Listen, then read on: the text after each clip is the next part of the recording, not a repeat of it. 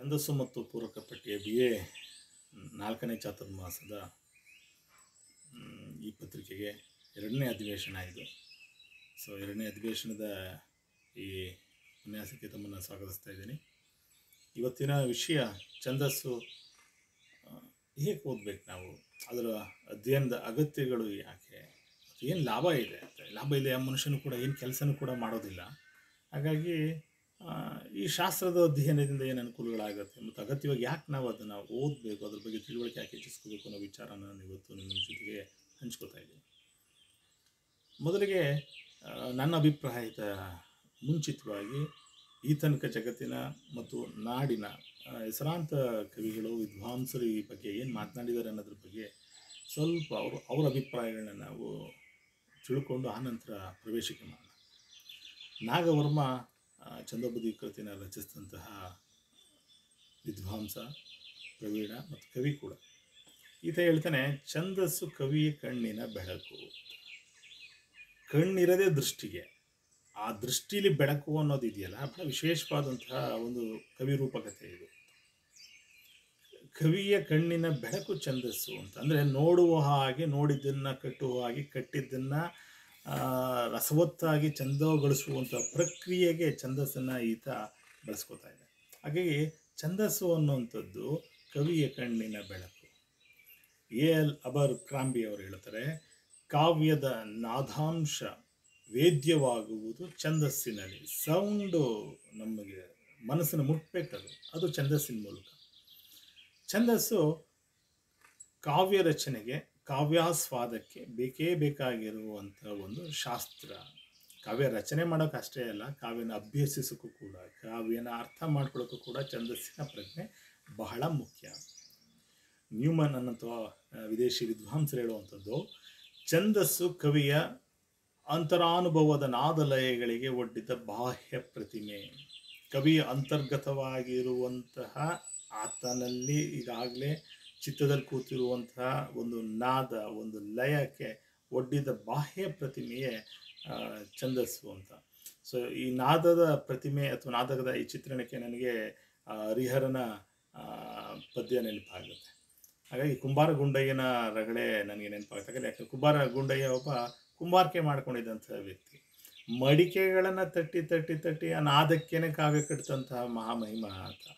ಶಾಂತ ಪುರಾತನ ರಗಳೆಯಲ್ಲಿ ಹರಿಹರ ಇದನ್ನು ಸ್ಮರಿಸಿದ ಹಾಗೆ ನಾದ ಮತ್ತು ಲಯನ ಅದಕ್ಕೆ ಒಡ್ಡುವಂಥದ್ದು ಅಕ್ಷರಗಳನ್ನ ಒಡ್ಡುವಂಥ ಒಂದು ಪ್ರತಿಮೆ ಯಾವ್ದಾರ ಇದ್ರೆ ಅದು ಛಂದಸ್ಸು.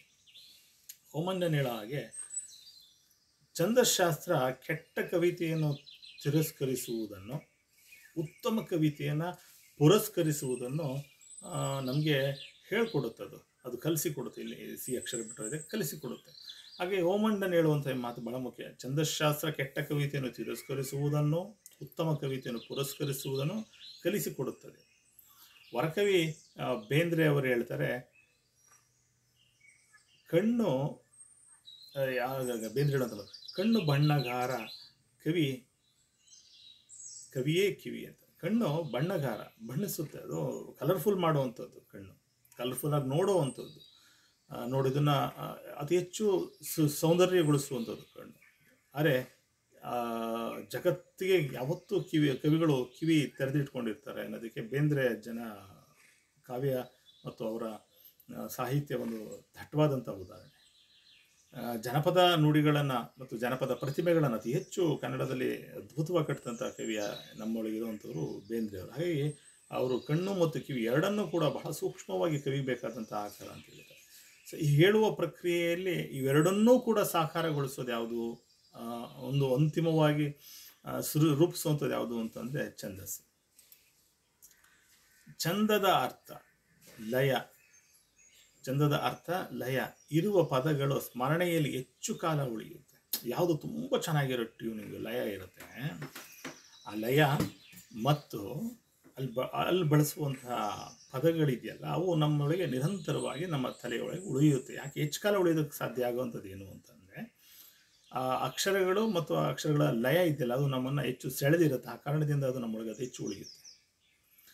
ಮನಸ್ಸನ್ನು ಆಹ್ಲಾದಗೊಳಿಸುವುದರ ಜೊತೆಗೆ ಚಿತ್ತಾನಂದಗೊಳಿಸುವಲ್ಲಿ ಛಂದಸ್ಸು ವಾಹಕದಂತೆ ಕ್ರಿಯಾಶೀಲವಾಗಿರುತ್ತದೆ. ಮನಸ್ಸನ್ನು ಖುಷಿಗೊಳಿಸೋದಷ್ಟೇ ಅಲ್ಲ ಆತ್ಮಕ್ಕೂ ಕೂಡ, ಚಿತ್ತಾನಂದಕ್ಕೂ ಕೂಡ ದಾರಿ ಮಾಡಿಕೊಡು, ಎಡೆ ಮಾಡಿಕೊಡುವಂಥದ್ದು, ವಿವೇಕನ ಹೆಚ್ಚಿಸುವಂಥದ್ದು. ಇದಕ್ಕೆಲ್ಲವಕ್ಕೂ ಒಂದು ಸರ್ಕ್ಯೂಟ್ ಇದ್ದಾಗೆ ಒಂದು ವಾಹಕತೆಯನ್ನು ಏರ್ಪಡಿಸುವಂಥದ್ದು. ಉದಾಹರಣೆಗೆ ತಾಮ್ರದ ತಂತಿಗಳು ಪ್ಲಗ್ ಮಾಡಿ ಲೈಟ್ಗೆ ಏನಾರು ಕನೆಕ್ಟ್ ಮಾಡಿದ್ರೆ ಈ ಉರಿತಾ ಇರುವಂಥ ದೀಪಕ್ಕೆ ಬೆಳಕಾಗಿದ್ದು ಯಾವುದು ವಾಹಕ ಅಂತಂದರೆ, ಆ ತಾಮ್ರದ ತಂತಿಗಳು. ವಾಹಕ ಅಂದರೆ ಸೇತುವೆ ಆಗುವಂಥದ್ದು. ಹಾಗಾಗಿ ನಮ್ಮ ಮನಸ್ಸಿಗೆ ಇಷ್ಟ ಆಗೋ ಹಾಗೆ ಕವಿಯ ಕಾವ್ಯ ಕಟ್ಟೋದಕ್ಕೆ ಸಾಧ್ಯ ಆಗಿದ್ದು, ಸಾಧ್ಯ ಆಗುವಂತೆ ಮಾಡಿದ್ದು ಮತ್ತು ನಮ್ಮ ಆನಂದಕ್ಕೆ ಕಾರಣ ಆದಂಥದ್ದು ಯಾವುದಾರಾಗಿದ್ದರೆ ಆ ಕವಿಯ ಕ್ರಿಯಾಶೀಲತೆಗೆ ಒಂದು, ಕವಿಯ ಕ್ರಿಯಾಶೀಲತೆ ನಮ್ಮೊಳಗೆ ಒಂದು ಪ್ರತಿಕ್ರಿಯೆ, ಒಂದು ತಲ್ಲಣನ ಉಂಟು ಮಾಡೋಕ್ಕೆ ಕಾರಣ ಆಗಿದೆ ಇದ್ದರೆ ಆ ವಾಹಕ ಶಕ್ತಿಯೇ ಛಂದಸ್ಸು ಅಂತ. ಕಾವ್ಯ ರಚನಾ ಶಕ್ತಿಯನ್ನು, ವಾಚಕ ಶಕ್ತಿಯನ್ನು ಹೆಚ್ಚಿಸುತ್ತದೆ ಛಂದಸ್ಸು. ನಾವು ಯಾಕೆ ಛಂದಸ್ಸನ್ನು ಓದಬೇಕು ಅಂತಂದರೆ, ಒಂದು ನಿಮಗೆ ಅದು ಬಹಳ ಇಷ್ಟ ಆಗಿ, ಆ ಛಂದಸ್ಸಿನ ಲಯಗಳು ನಿಮಗೆ ಪರಿಚಯ ಆಗಿ ಸಂಗೀತದಂತೆಯೇ ಛಂದಸ್ಸು ಕೂಡ.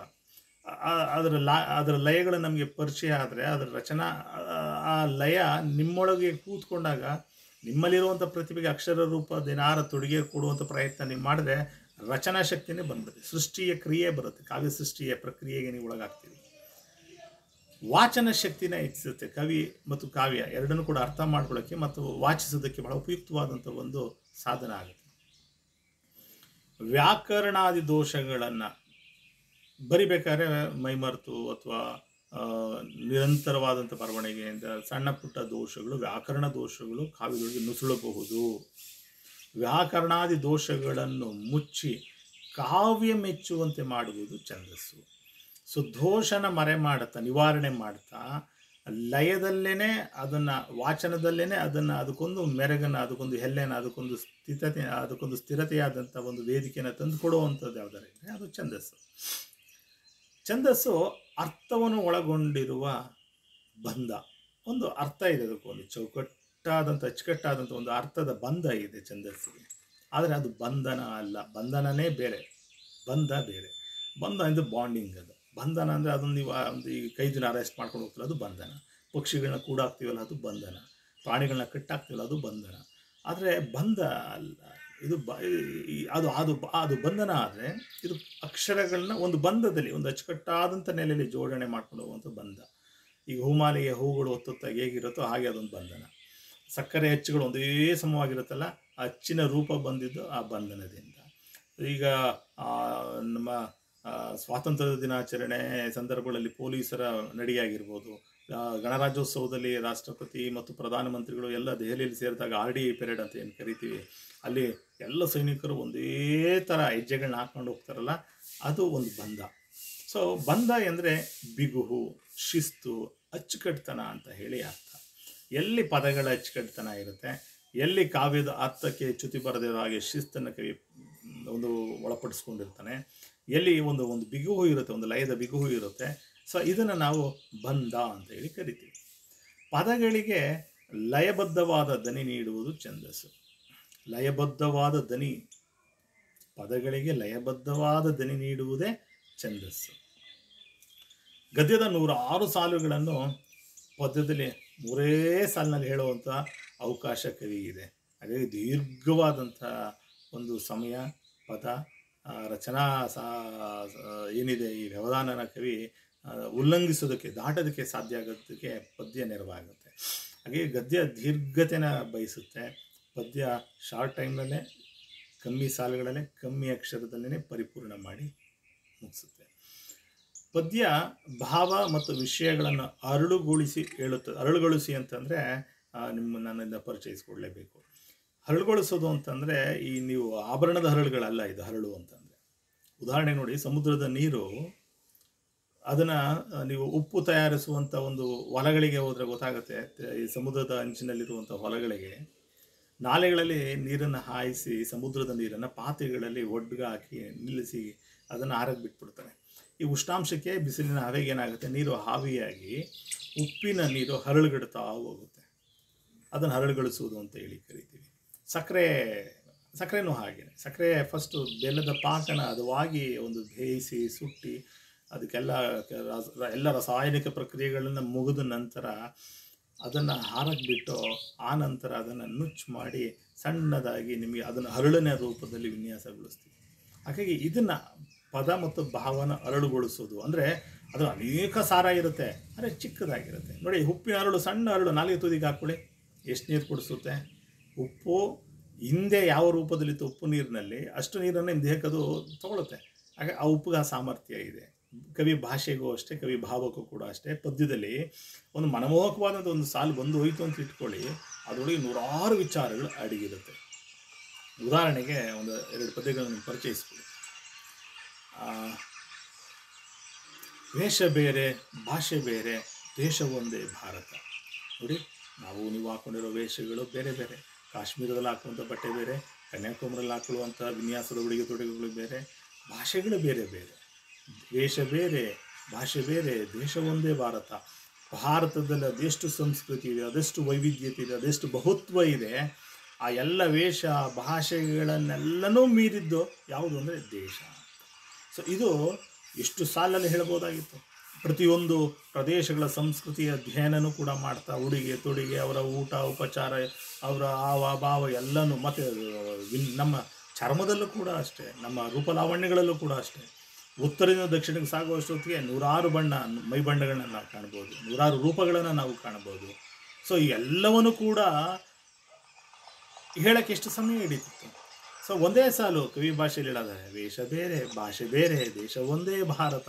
ನೋಡಿ ಇದನ್ನ ಸುಲಭವಾಗಿ ಹೇಳಿದ್ದು ಒಂದು ಪ್ರಕ್ರಿಯೆ ಆದರೆ, ಇಲ್ಲಿನ ಬಹಳ ಮುಖ್ಯವಾಗಿ ಗಮನಿಸಬೇಕಾಗಿರೋದು ನೋಡಿ ಇಲ್ಲಿ ಬೇರೆ ಬೇರೆ ಎನ್ನುವಂಥ ಪದ, ವೇಷ ಭಾಷೆ ಎನ್ನುವಂಥ ಪದ, ಮತ್ತೆ ಮತ್ತೆ ಒಂದು ಪ್ರಾಸದ ಅನುರಣನದಲ್ಲಿ ಬರ್ತಾ ನಮ್ಮನ್ನು ಹೆಚ್ಚು ಮೆಚ್ಚಿಸುತ್ತೆ, ಮೋಹಕಗೊಳಿಸುತ್ತೆ. ಇದನ್ನು ನಾವು ಪದ್ಯ ಅಂತ ಹೇಳಿ ಕರೆಯುವಂಥದ್ದು. ಹಾಗೆ ಕೆ ಎಸ್ ನರಸಿಂಹಸ್ವಾಮಿಯವರು ಒಂದು ಪದ್ಯ ಇದೆ.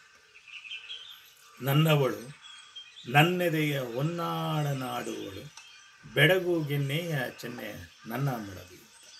ರೊಮ್ಯಾಂಟಿಕ್ ಆಗಿರುವಂತಹ ಸಾಲು. ನನ್ನವಳು ನನ್ನದೇ ಹೊನ್ನಾಡನಾಳು ಅಂತ. ರಾಜ ಅಂತ ರಾಜ್ಯನೇ ಇರಬೇಕು ಅಂತ ಏನಿಲ್ಲ.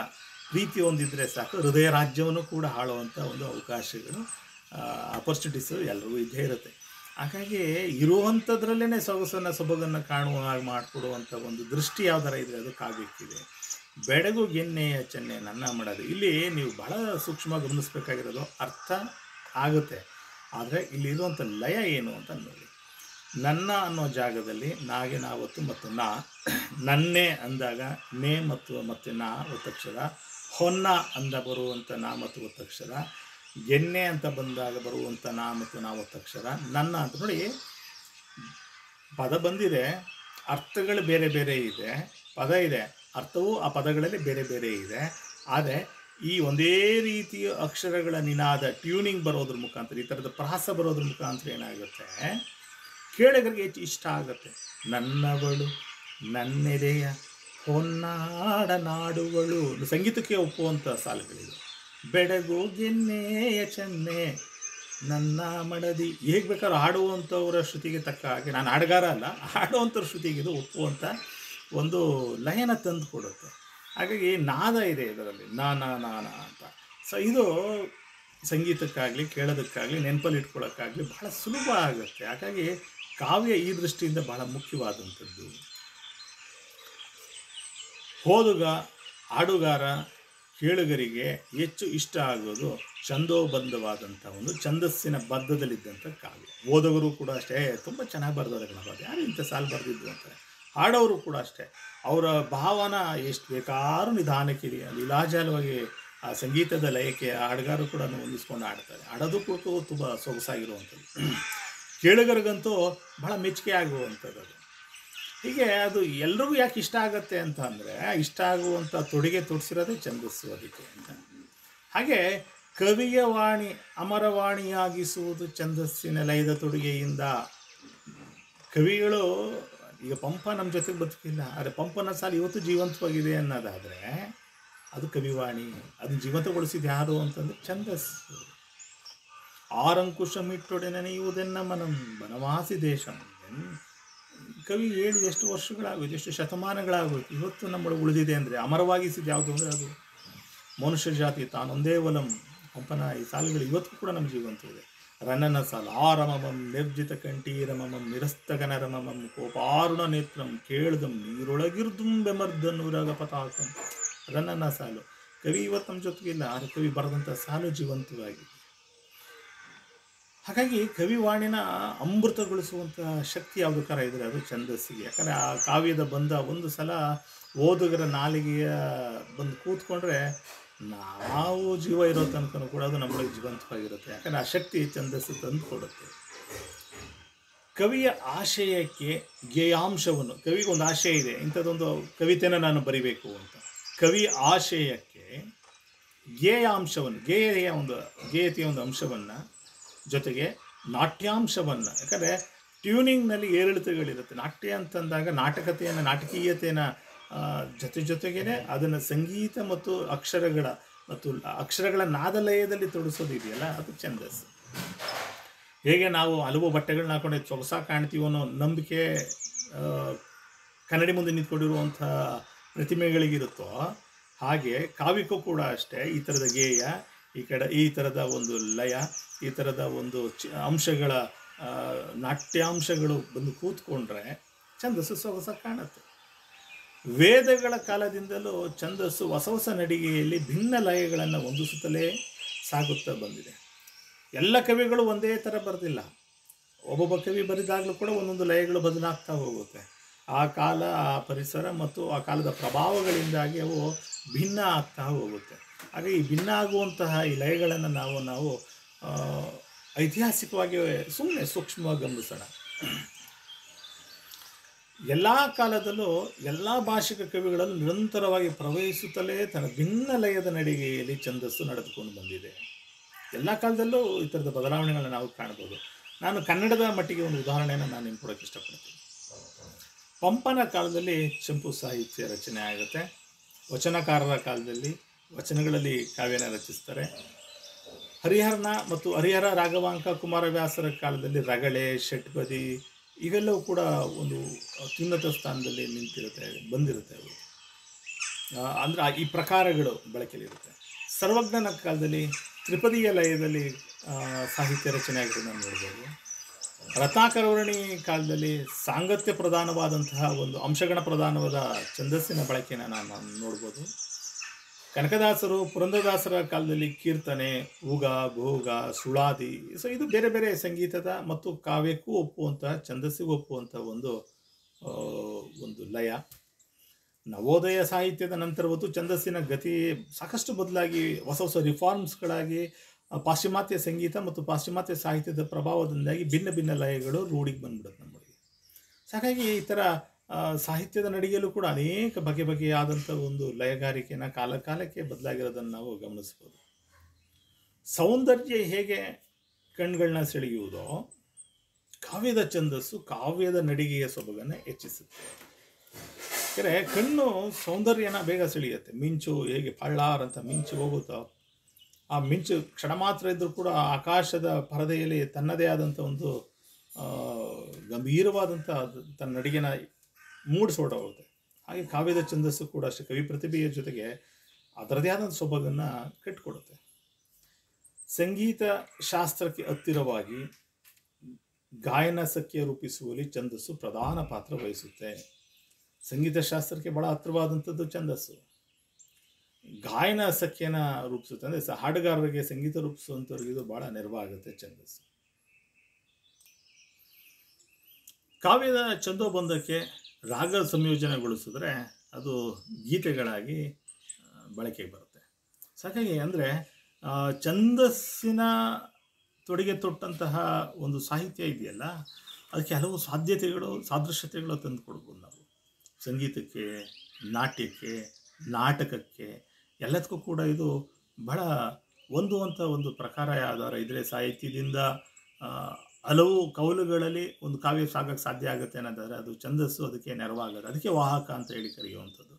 ಒಂದು ಕಾವ್ಯನ ನೃತ್ಯ ರೂಪಕ್ಕೆ ಕೂಡ ಅಳವಡಿಸಿ ಭರತನಾಟ್ಯದಲ್ಲೂ ಕೂಡ ಹಳೆ ಅಥವಾ ಗಮಕಗಳ ಹಾಡುಗಳಿಗೂ ಕೂಡ ಆಡ್ತಾರೆ ಉದಾಹರಣೆಗೆ ಯಕ್ಷಗಾನ ಅದಕ್ಕೆ ಭಾಳ ದೊಡ್ಡ ಉದಾಹರಣೆ ದೊಡ್ಡಾಟ ಚಿಕ್ಕಾಟಗಳು ಅಂತ ಹೇಳಿ ನಾವು ನೋಡ್ಬೋದು ಅಲ್ಲಿ ಅವರು ಅದರಲ್ಲೂ ಕೂಡ ಈ ಥರದೊಂದು ಲಾದ, ಲಯ, ಸಂಗೀತ ಎಲ್ಲವೂ ಕೂಡ ಬರುವಂಥ ಸಾಹಿತ್ಯಗಳು ನಮಗೆ ಇರುವಂಥ ಸಾಹಿತ್ಯ ನಮಗೆ ಪರಿಚಯ ಆಗುತ್ತೆ. ಹಾಗಾಗಿ ಇದಕ್ಕೆ ಗಾಯನಕ್ಕೆ ಸಖ್ಯ ಅಂದರೆ ತುಂಬ ಸುಲಭವಾಗಿ ಹಾಡುಗಾರಿಕೆಗೆ ಅನುಕೂಲ ಆಗುವಂತೆ ಇದು ಪಾತ್ರ ವಹಿಸುತ್ತೆ ಛಂದಸ್ಸು ಕಾವ್ಯದ ಛಂದೋಬಂಧಕ್ಕೆ ರಾಗ ಸಂಯೋಜನೆಗೊಳಿಸುವುದರೆ ಅದು ಗೀತೆಗಳಾಗುತ್ತೆ ಅನ್ನೋದಿಗಾಗಲೇ ನಿಮಗೆ ಪರಿಚಯಿಸಿದೆ. ಈ ಉದಾಹರಣೆಗೆ ಕುವೆಂಪು ಅವ್ರ ಕವಿತೆಗಳು, ಕಥನ ಕವಿತೆಗಳು, ಅದೇ ರೀತಿ ಮಹಾಕಾವ್ಯ, ಸ್ವಲ್ಪ ಗಮನಿಸಿ, ಬರೆದಿದ್ದು ಒಬ್ ಒಬ್ಬರೇ ಕವಿ ಅವ್ರದೇ ಪೆನ್ನಲ್ಲಿ ಒಬ್ಬರೇ ಕವಿ ಬೇರೆ ಬೇರೆ ಕಾಲದಲ್ಲಿ ಬರೆದಿದ್ದಾರೆ. ಆದರೆ ಕಾವ್ಯದ ಲಯ, ನಡಿಗೆ ಆ ನಡಿಗೆಯ ರೂಪ, ಅವರು ಬಳಸಿದಂಥ ಛಂದಸ್ಸು ಬೇರೆ ಬೇರೆ ಆಗುತ್ತೆ. ಇದೇ ಕವಿ ಬರೆದಿದ್ದ ಮಹಾಕಾವ್ಯ, ಇದೇ ಕವಿ ಬರೆದಂಥ ನಾಟಕಗಳು, ಇದೇ ಕವಿ ಬರೆದಂಥ ಕಾದಂಬರಿ, ಇದೇ ಕವಿ ಬರೆದಂಥ ಕಥನ ಕವಿತೆಗಳು, ಇದೇ ಕವಿ ಬರೆದಂಥ ಅನೇಕ ಭಾವಗೀತೆಗೆ ಹೊಂದುವಂಥ ಕಾವ್ಯಗಳು, ಇಷ್ಟೆಲ್ಲ ನಾವು ನೋಡ್ಬೋದು. ಉಳುವ ಯೋಗಿಯ ನೋಡಲಿ ಅಂತ ಬರೆಯುವಂಥ ಕುವೆಂಪು ಅವರು ಗೊಬ್ಬರದ ಮೇಲೆ ಕವಿತೆ ಬರೆದಂಥ ಕುವೆಂಪು ಅವರು ರಾಮನ ಕುರಿತು ಕೂಡ ಮಹಾಕಾವ್ಯನ ಬರೀತಾರೆ. ಸ್ಮಶಾನ ಕುರುಕ್ಷದಂಥ ನಾಟಕಗಳನ್ನ ಬರೀತಾರೆ.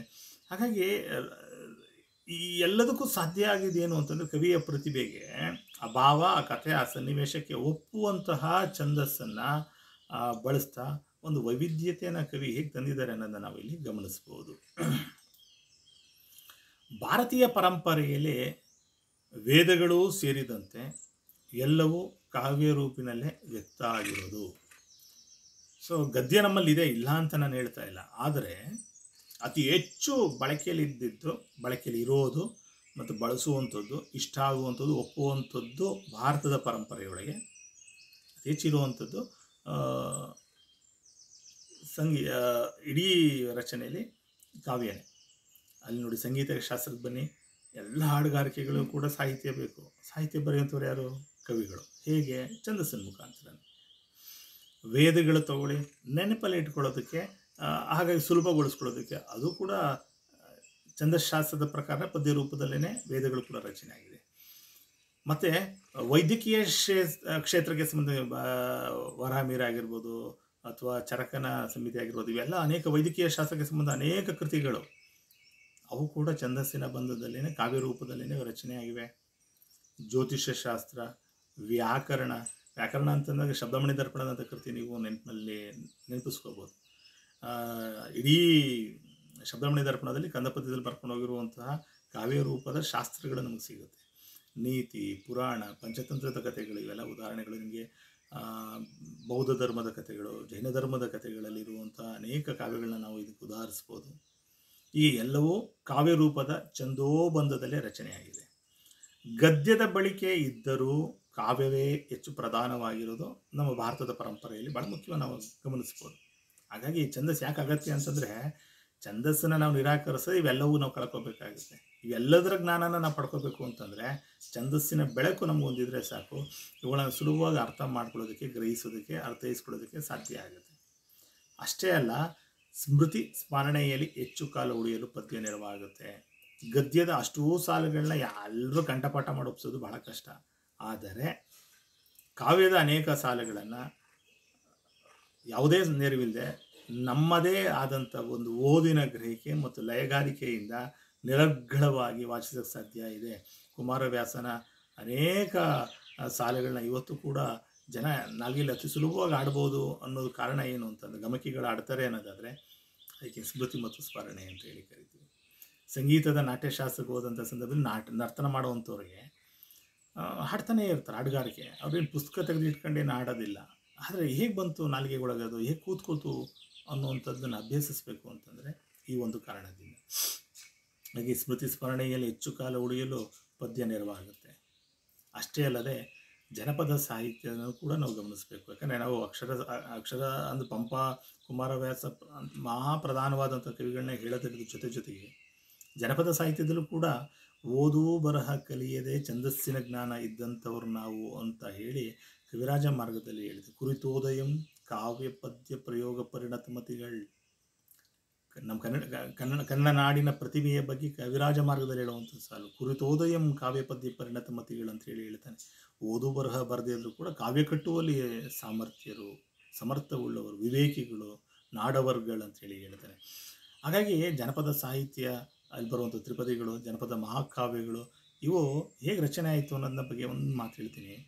ಇದು ಶ್ರಮಿಕರ ಸೊಲ್ಲಿನ ಲಯದಲ್ಲೇ ಉಳಿದಿದೆ ಅಂದರೆ, ಸೊಲ್ಲು ಅಂತ ಶ್ರಮಿಕರ ಲಯದ ಸೊಲ್ಲು ಎಲ್ಲಿರುತ್ತೆ ಅಂದರೆ, ಅವರು ಕೆಲಸ ಮಾಡ್ತಾ ಮಾಡ್ತಾ ದಣಿಯುತ್ತಾ, ಆ ದಣಿವನ್ನು ಬೇಸರಿಕೆನ ಕಳೆದುಕೊಳ್ಳೋದಕ್ಕೆ ಅವ್ರದ್ದೇ ಆದಂಥದ್ದು ಶ್ರಮಿಕರ ಲಯ ಇದೆ.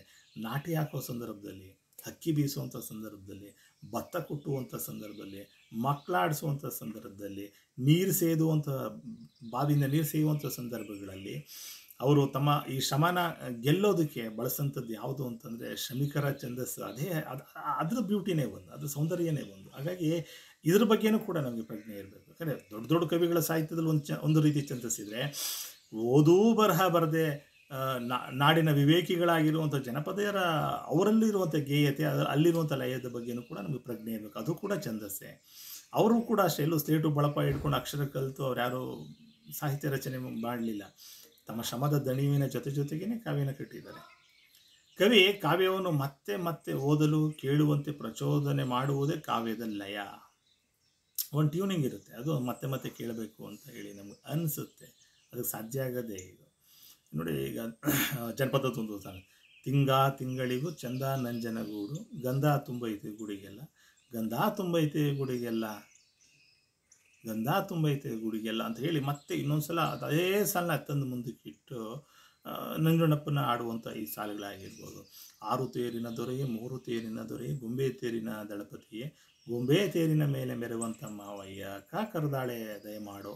ಸೊ ಇಲ್ಲಿ ಕೆಲವು ಪದಗಳು ಮತ್ತೆ ಪುನರ್, ಅನ, ಪುನರ್ ಅನುರಣನಗೊಳ್ಳುತ್ತೆ ವಾಚನದಲ್ಲಿ ನಾಲಿಗೆ ಬೇಗ ಸುಲಭ ಬಂದು ಕೂತ್ಕೊಳ್ಳುತ್ತೆ. ತನ್ಮೂಲಕ ಕೇಳುಗರಿಗೆ, ಓದುಗರಿಗೆ ಅದು ಮೆಚ್ಚುಗೆನ ಮತ್ತು ಆನಂದನ ಹೆಚ್ಚಿಸುತ್ತೆ. ಕವಿ ಪ್ರತಿಮೆ, ಕವಿ ತರುವಂಥ ಪ್ರತಿಮೆಗಳು ಮತ್ತು ಕವಿಯ ಪ್ರತಿಭೆಯನ್ನು ಮನಮೋಹಕವಾಗಿ ಸಹೃದಯನ ಮನಮುಟ್ಟಿಸುವ ವಾಹಕವೇ ಛಂದಸ್ಸು. ಯಾಕೆ ಓದಬೇಕಪ್ಪ ಅಂದರೆ ಕವಿ ಏನು ಹೇಳ್ತಾ ಇದ್ದಾನೆ, ಯಾವ್ಯಾವ ಪ್ರತಿಮೆಗಳನ್ನ ತರ್ತಾ ಇದ್ದಾನೆ, ಅದನ್ನು ತರಬೇಕಾದ್ರೆ ಆತನ ಪ್ರತಿಭೆ ಹೇಗೆ ಶ್ರಮಿಸ್ತಾ ಇದೆ, ಆ ಪ್ರತಿಭೆ ಮತ್ತು ಆ ಪ್ರತಿಮೆ ಎರಡೂ ನಮಗೆ ಮನಸ್ಸನ್ನು ಮೋಹಕಗೊಳಿಸ್ಬೇಕಾದ್ರೆ ಮನಮುಟ್ಟುವ ಹಾಗೆ ಅವನು ಭಾಷೆನ ತಂದಿದ್ದಾನೆ ಅಂದರೆ ಒಂದು ಲಯ ತಂದಿದ್ದಾನೆ ಅಂದರೆ ಅದು ಛಂದಸ್ಸು ಆಗಿರುತ್ತೆ. ಕಾವ್ಯ ಅರ್ಥಪೂರ್ಣವಾಗುವುದು ಛಂದಸ್ಸಿನಿಂದ. ಸಂಪನ್ನ ಆಗಬೇಕಾದ್ರೆ ಕಾವ್ಯ ಪರಿಪೂರ್ಣ ಆಗಬೇಕಾದ್ರೆ ಛಂದಸ್ಸಿನ ಜೊತೆ ಇದ್ದರೆ ಮಾತ್ರ ಅದು. ಸತ್ಯ ಮತ್ತು ಕಾವ್ಯ ಸೌಂದರ್ಯಗೊಳ್ಳುವುದು ಛಂದಸ್ಸಿನ, ಯಾವುದು ಸತ್ಯವೇ ಸುಂದರವಾದದ್ದು ಅಂತ ಹೇಳಿ ಅನೇಕ ಚಿಂತಕರು ಹೇಳ್ತಾ ಬಂದಿದ್ದಾರೆ. ಸತ್ಯಂ ಶಿವಂ ಸುಂದರಂ ಅನ್ನೋ ಈ ಶಾಲೆಯಲ್ಲಿ ಕೂಡ.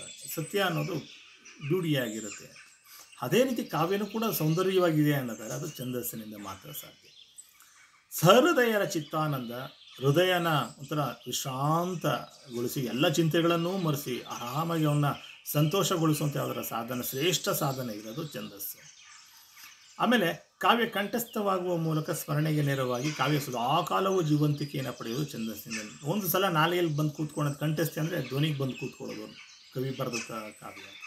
ಕಾವ್ಯ ಕಂಠಸ್ಥವಾಗುವುದು, ಈ ಸ್ಮರಣೆಗೆ ನೆರವಾಗುವುದು ಈ ಛಂದಸ್ಸಿನಿಂದ.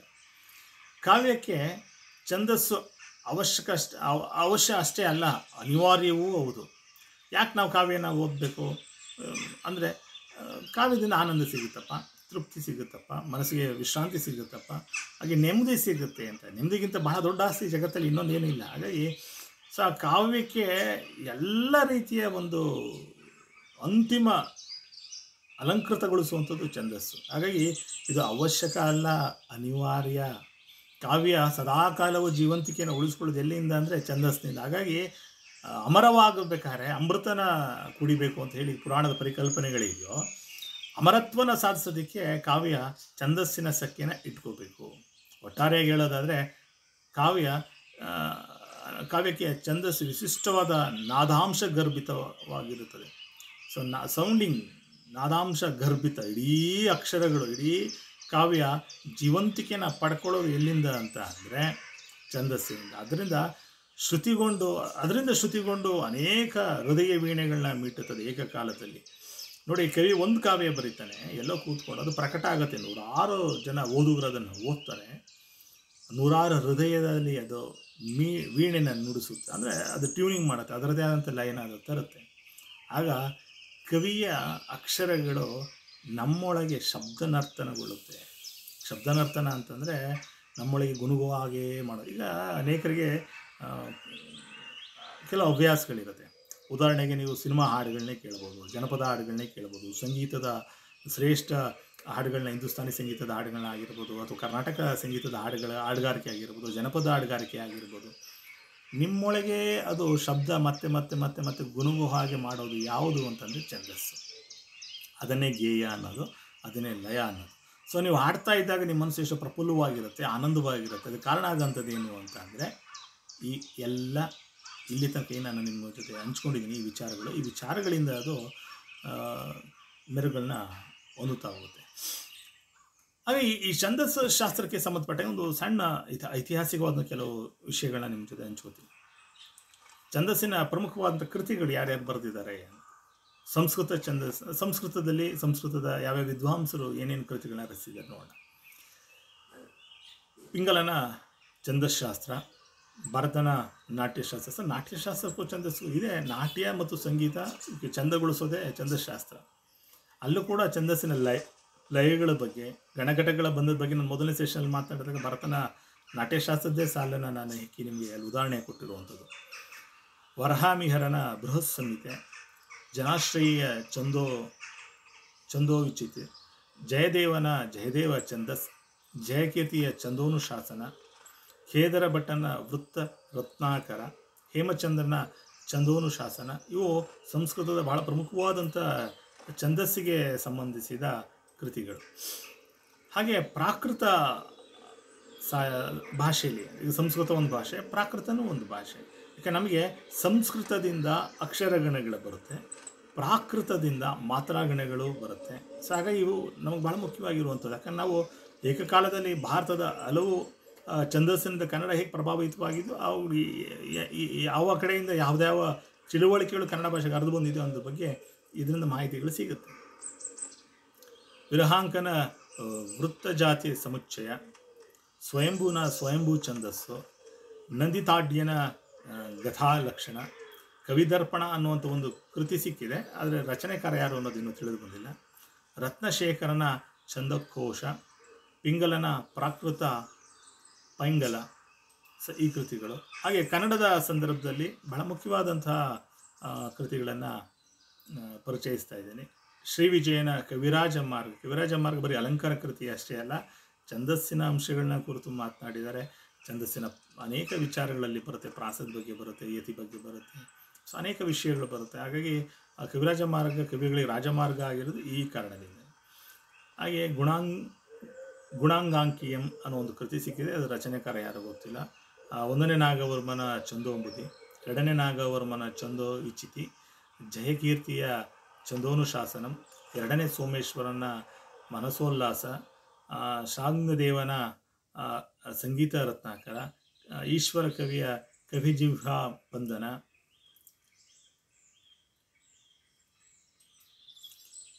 ಗುಣಚಂದನ ಚಂದಸ್ಸಾರ ನಂದಿ ವಿದ್ವಾಂಸನ ನಂದಿ ಛಂದಸ್ಸು. ಆಧುನಿಕ ಕಾಲಕ್ಕೆ ಬಂದಂಥ ಸಂದರ್ಭದಲ್ಲಿ D S ಕರ್ಕಿಯವರ Kannada Chhando Vikasa doctor T V Venkatachala Shastri ಅವರ ಕನ್ನಡ ಛಂದಸ್ಸು ಮತ್ತು ಅದರ ಸ್ವರೂಪ, ತಿನಂ ಶ್ರೀಕಂಠಯ್ಯನವರ ಹೊಸಗನ್ನಡ ಛಂದಸ್ಸು, ಬಿ ಎಂ ಶ್ರೀ ಅವರ ಕನ್ನಡ ಛಂದಸ್ಸಿನ ಚರಿತ್ರೆ ಕೆ ವಿ ಪುಟ್ಟಪ್ಪನವರು ಸಂಪಾದನೆ ಮಾಡಿದಂತಹ ಕೃತಿ ಕನ್ನಡ ಕೈಪಿಡಿ ಮೊದಲು ಸೊ ಇವು ಕನ್ನಡದ ಸಂದರ್ಭದಲ್ಲಿ ಭಾಳ ಪ್ರಮುಖವಾದಂಥ ಎಲ್ಲರೂ ಒಂದು ಒಂದು ಹಂತದಲ್ಲಿ ಪರಿಶೀಲಿಸ್ಬೋದಾದಂಥ ಕೃತಿಗಳು. ಸೊ ಇದೊಂದು ಅವಕಾಶಕ್ಕೆ ನಾನು ವಂದನೆಗಳನ್ನು ತಿಳಿಸ್ತಾ ಇವತ್ತಿನ ಸೆಷನನ್ನು ಸಮಾಪ್ತಿಗೊಳಿಸ್ತಾ ಇದ್ದೀನಿ. ಸೊ ಹಾಗಾಗಿ ಇವತ್ತಿನ ಸೆಷನಲ್ಲಿ ಪ್ರಮುಖವಾಗಿ ಚರ್ಚೆ ಮಾಡೋದು ಛಂದಸ್ಸಿನ ಅಗತ್ಯಗಳು ಏನು ಯಾಕೆ ನಾವು ಛಂದಸ್ಸಿನ ಅಧ್ಯಯನ ಮಾಡಬೇಕು ಅನ್ನೋ ವಿಚಾರನ ತಮ್ಮ ಜೊತೆಗೆ ಹಂಚ್ಕೊಂಡಿದ್ದೀನಿ. ಹಾಗೆ ಆ, ಛಂದಸ್ಶಾಸ್ತ್ರಕ್ಕೆ ಸಂಬಂಧಿಸಿದಂಥ ಪ್ರಮುಖ ಕೃತಿಗಳನ್ನು ಸಾಹಿತ್ಯದ ಅವರ ಐತಿಹಾಸಿಕ ಪ್ರಮುಖ ಛಂದಶಾಸ್ತ್ರದ ಕೃತಿಗಳನ್ನು ನಾನು ಪರಿಚಯಿಸುವಂಥ ಪ್ರಯತ್ನ ಮಾಡಿದ್ದೀನಿ. ಧನ್ಯವಾದಗಳು.